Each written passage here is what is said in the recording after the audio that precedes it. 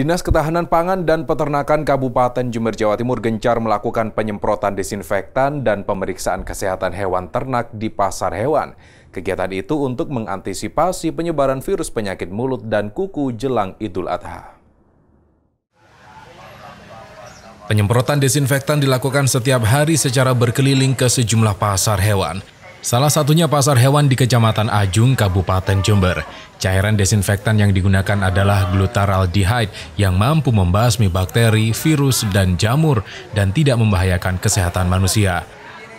Penyemprotan dilakukan di setiap sudut pasar hingga mobil pengangkut hewan ternak.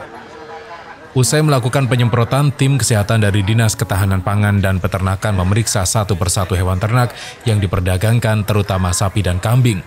Pemeriksaan difokuskan pada bagian mulut, gigi, gusi, dan kuku.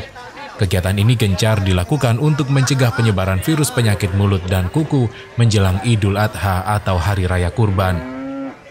Kegiatan kali ini adalah yang pertama kita melakukan sosialisasi kepada masyarakat terkait penyakit mulut dan kuku. Yang kedua kita melakukan penyemprotan desinfektan. Tujuannya adalah yang pertama dekontaminasi uh, untuk memutus penyakit mulut dan kuku. Yang kedua kita kita tracing pak terkait asal hewan dari mana hewan ini e, dibeli. Penyebaran virus penyakit mulut dan kuku membuat peternak dan pedagang rugi. Pasalnya harga jual hewan ternak turun.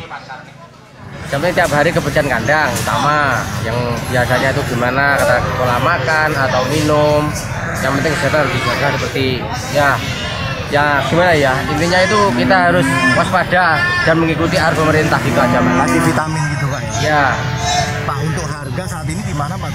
Kalau yang jelas menurun mas. Terus petani tetap mahal, pedagangnya sampah semua kan iya pak? Iya iya betul. Di Kabupaten Jember hingga saat ini sudah ada 600 ekor hewan ternak diduga tertular PMK, 4 ekor positif dan 3 mati. Hernawan Mustika, Kompas TV Jember, Jawa Timur.